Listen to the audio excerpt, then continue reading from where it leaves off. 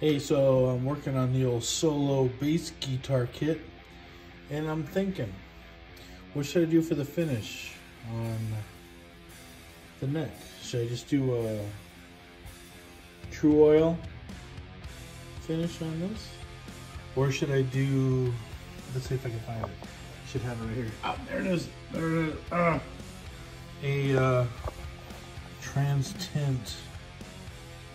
There we go. Like an amber, you know, like vintage, vintage, vintage finish. Put that on there, stain the shit out of that. Maybe do a lacquer finish. I don't know. Let's. What do you think? What do you think would be better? This, just with a Tru oil, or that? I don't know. What do you think? It's up to you, peoples. You'll let me know.